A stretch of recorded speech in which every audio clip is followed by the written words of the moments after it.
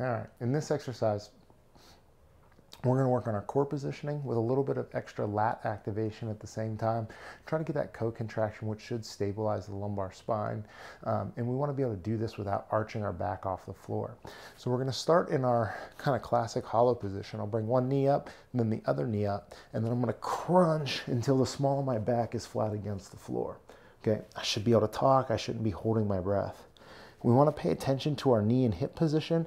If you feel yourself kind of flailing to the outside or rotating to the inside, try to bring yourself back to at least a neutral position. Okay. To add the lat activation, I have a band attached to a chair behind me.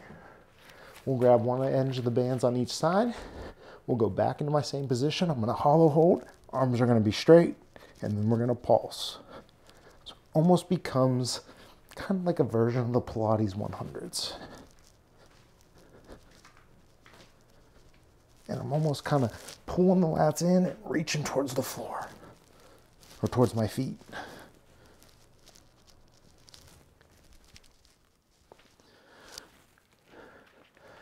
It's a pretty nice little ab exercise. Works on that hollow position.